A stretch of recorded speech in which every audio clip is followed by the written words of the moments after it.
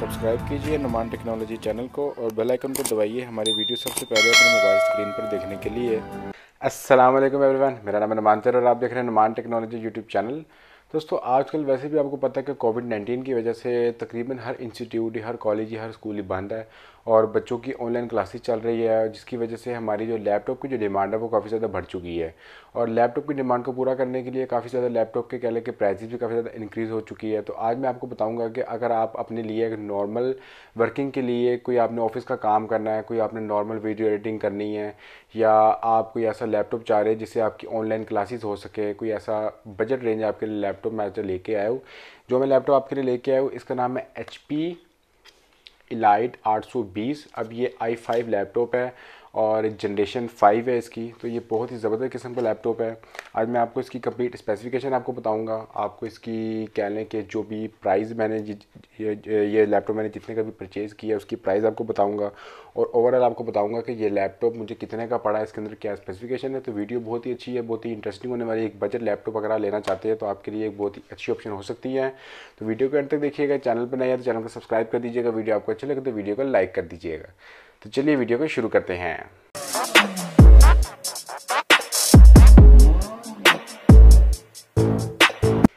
Laptop की सबसे पहले अगर मैं बिल्ड क्वालिटी को लेकर आपसे बात करूँ तो आप ये देख सकते हैं कि मेरे पास ये जो साइज़ है, ये मेरे पास 13 इंच का साइज़ है। यानी कि कि ये एक बहुत ही मिनी साइज़ है। इसके अंदर आपको कैरी करने का भी कोई मसला नहीं आएगा और कह लें कि बिल्ड क्वालिटी इसकी, क्योंकि लैपटॉप की ज़्यादातर बिल्ड क्वालिटी प्लास्टिक की ही हमें देखने को मिलती है तो इसके अंदर भी हमें प्लास्टिक की ही बिल्ड क्वालिटी देखने को मिल रही है।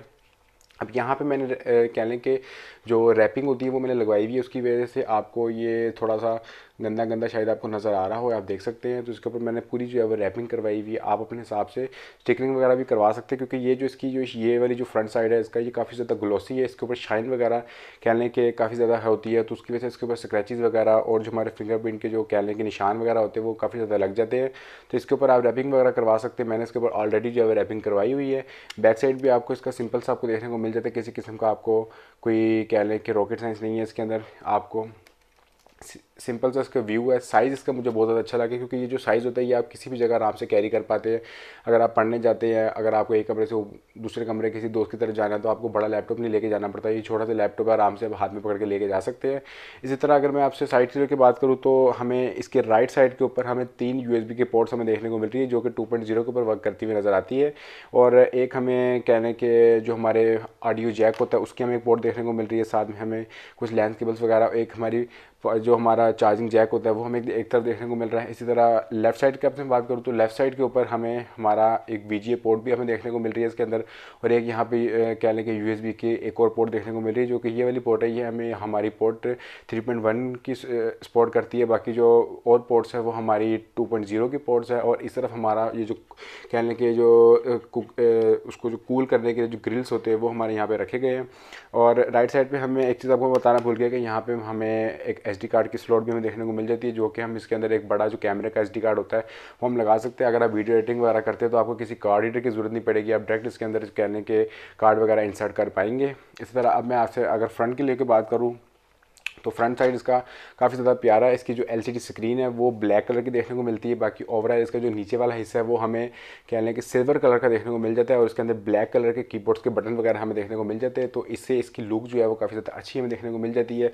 इस तरफ़ हमें इसके स्पीकर वगैरह देखने को मिल जाते हैं और यहाँ पर हमारे हमारा माउस पैड रखा गया है और ये आप देख सकते हैं ओवरऑल इसकी लुक और इसका जो कीबोर्ड है, वो भी मिनी कीबोर्ड है। इसके अंदर हमें जो एक्स्ट्रा जो नुमेरिक कीबोर्ड होता है साइड पर दिया हुआ, वो हमें देखने को नहीं मिलता क्योंकि ये कीबोर्ड हमारा साइज़ का छोटा है, इसके अंदर हमें किसी किस्म का सीडी रोम भी देखने को नहीं मिलता, ठीक है? और और यहाँ पे हमें नीचे की तरफ़ हमारी जो चार्जिंग लाइट्स वगैरह होती है ऑन होने की, ये लाइट्स वगैरह हमें देखने को मिल जाती है। अब स्पेसिफिकेशन को लेकर मैं आपसे बात करूँ तो ये हमारा कोर आई फाइव है जनरेशन फाइव का लैपटॉप है। इसके अंदर हमें चार जी की रैम मिलती है। अब रैम मैंने इसके अंदर एक ही रैम लगाई हुई है, चार जी की, लेकिन इसकी मैंने अपग्रेशन करवानी है आठ जी के ऊपर। मैं इसको शिफ्ट इंशाल्लाह कर जाऊँगा, लेकिन फ़िलहाल इसके अंदर चार जी की रैम है वन टी की हार्ड है इसके अंदर, और कोर आई फाइव का जनरेशन फाइव का इसके अंदर हमें प्रोसेसर देखने को मिल रहा है इंटेल का, जो कि क्या लेके टू पॉइंट थ्री गीगा के ऊपर वर्किंग करता हुआ नज़र आता है। सिक्सटीन एम इसकी कैशे स्पीड है। तो ओवरऑल कह लें कि नॉर्मल यूजेज के हिसाब से ऑनलाइन क्लासेस वगैरह के हिसाब से आपके लिए एक बहुत ही अच्छी ऑप्शन जो है वो हो सकती है। इसी तरह आपसे मैं और इसके फीचर्स की बात करूँ तो इसके अंदर हमें जो कीबोर्ड देखने को मिल रहा है, वो भी हमें कह लें कि लाइट वाला कीबोर्ड देखने को मिल रहा है, क्योंकि अक्सर लैपटॉप्स वगैरह में ये मसला होता है कि उसके अंदर जो कीबोर्ड होते हैं, वो लाइट वाले नहीं होते और लाइट ना होने की वजह से अगर हमने अंधेरे में काम करना होता तो हमें इसके ऊपर वर्किंग करने में, हमें टाइपिंग करने में काफ़ी ज़्यादा इशू उसके अंदर देखने को मिलते हैं, लेकिन इसके अंदर जो की है, वो भी हमें लाइट वाला कीबोर्ड देखने को मिल रहा है तो उसकी वजह से कह लें कि इसकी जो खूबसूरती है, वो और भी ज़्यादा बढ़ जाती है। फ्रंट साइड के ऊपर हमें यहाँ पर हमारी जो फ़ंक्शन कीस होती है, वो हमें देखने को मिल रही है। उसके अलावा यहाँ पर हमारा स्पीकर हमारी जो स्पीकर हैं, वो हमें देखने को मिल रहे हैं और स्पीकर की क्वालिटी भी इसकी काफ़ी ज़्यादा अच्छी है, काफ़ी ज़्यादा लाउड इसके स्पीकर हमें देखने को मिल जाते हैं। कह लें कि स्पीकर की जो ओवरऑल जो आवाज़ है, वो काफ़ी ज़्यादा अच्छी है, काफ़ी ज़्यादा तेज़ मुझे देखने को मिली है। तो मैं आपको स्पीकर का भी जो सैंपल है, वो आपको दिखाता हूँ और आप मुझे देख के बताइएगा कि आपको स्पीकर की क्वालिटी इसकी जो है, वो कैसी देखने को मिल रही है।